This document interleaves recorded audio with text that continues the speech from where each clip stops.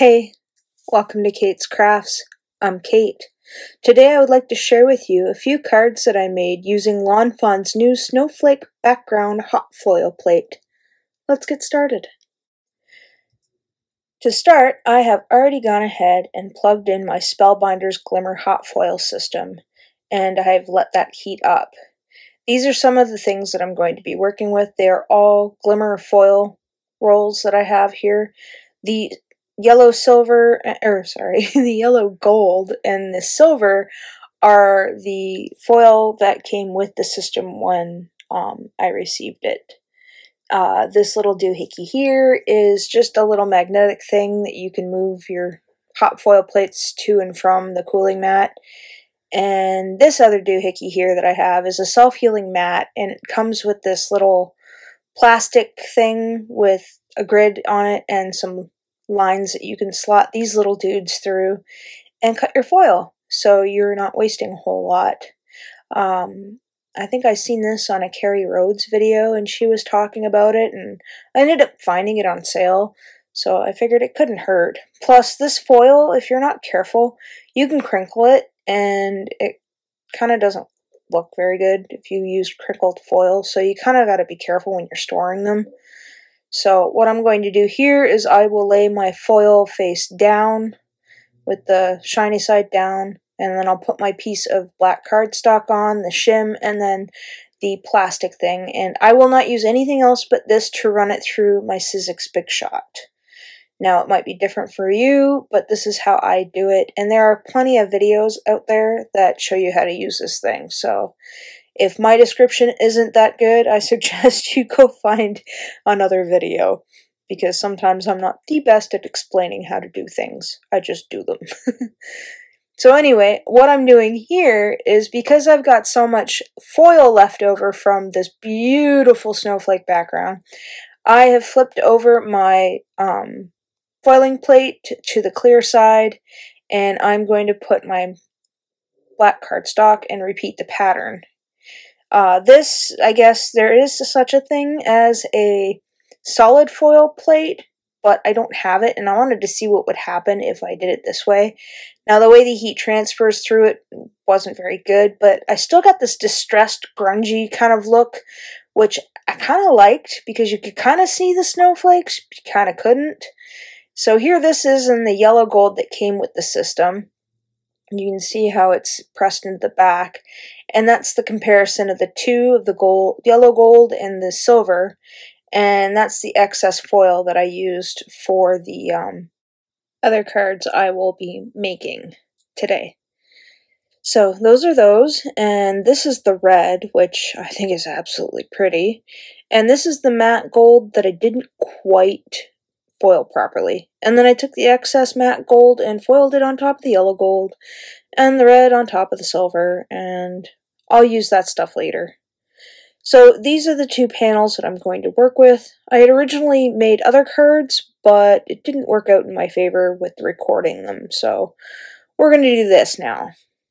So what I've got here is the outside in stitched rectangle die, and then I've got the snowflake border by, this is all Lawn Fawn, uh, this is a Recollections paper. It is the white gold shimmer cardstock.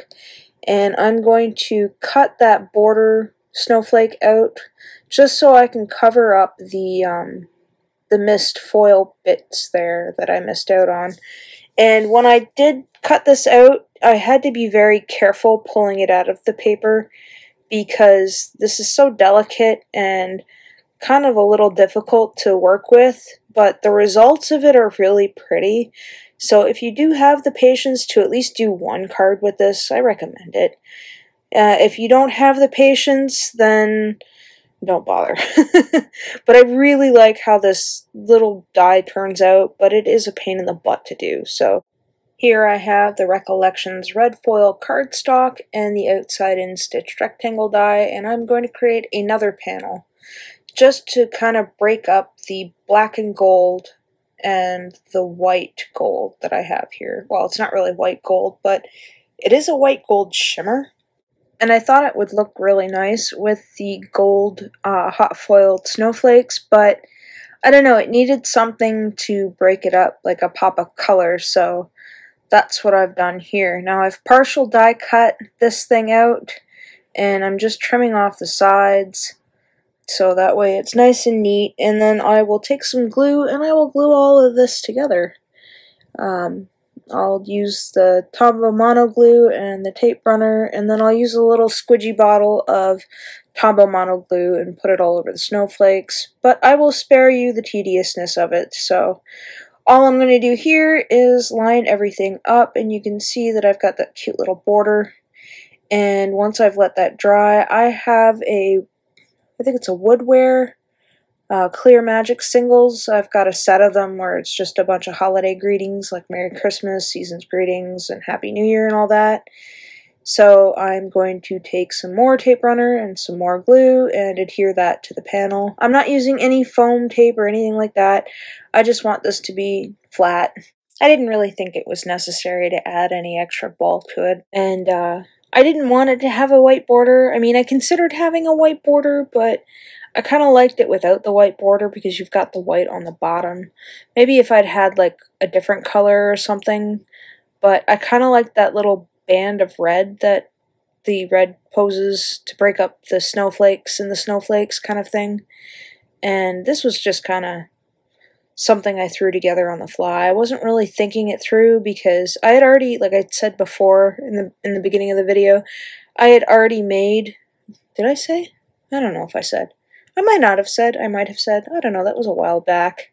It's taken me a while to edit this darn video. But I did make some other cards, and I had recorded them last night, but I should know better than to craft and being tired. So I kind of screwed up the um, footage. I didn't zoom out far enough and far in, far out, far enough, far out, far out. and I messed it up. So these were those panels that I had used the excess foil on, uh, one of the sides has the red and the silver on it. I just went back over it because I wasn't too keen on it, and I wanted something just with just the red. So I've got this extra packaging from something that I'm just cutting down to size, and I'm going around each spot of the back sides of the panels with some double-sided foam, not double-sided foam, what am I talking about? some double-sided adhesive, that's it and I'm going to create myself a pocket. There are tons of videos out there on the specifics on how to make a shaker, flat shaker card. Uh, I do have another video explaining how I made it, so if, uh, if you don't know how to make these yet, go ahead and look for those videos. If not, uh, I can try and remember to leave a link in the description below of the other flat shakers that I've made. Now, these shaker elements that I am using are the round um, confetti shakers, red round confetti shakers, and then the rose gold cups. Now, I don't know how to say the company's name. I don't know if it's Hay or High or it's H-A-I Supply. Maybe you know and you can let me know in the comments below because I like their confetti, I just don't know how to pronounce their name. so all I'm doing here is taking some of my double-sided tape and overlapping where the plastic is so that way I could make sure that everything's nice and sealed up in there. And I am going to add this to my card base to create a white border and I will do that for both. Now here I'm just kind of marking out roughly how long I need each piece of tape and I'm going to create my own sticker. So I've got some of the excess of that white shimmer or white gold shimmer cardstock that I used. And uh, I'm just taking the tape and putting it on the back and then I will run it through my die press a couple of times. I'll take it out and flip it around and then run it backwards kind of thing.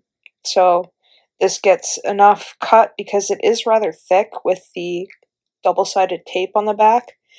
And I've made sure to remove all of the little negative spaces because what I'm about to do is take off all the release paper and use the stability of the die to place my sentiment on the front of the card. So you don't want to poke too hard on this because you don't want to poke through your paper and this will just ensure that you don't get anything too floppy and this is a lot easier to do.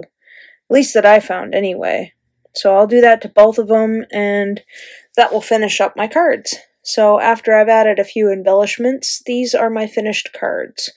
Here's the first one, and here are the two flat shaker cards, which I think turned out rather nice. And as promised, my two bonus cards. So which one did you like the best? I think I like them all, but I'm gonna have a lot of fun with this hot foil plate. I think it's absolutely darling. So if you've enjoyed today's content or found it helpful, please give this video a like.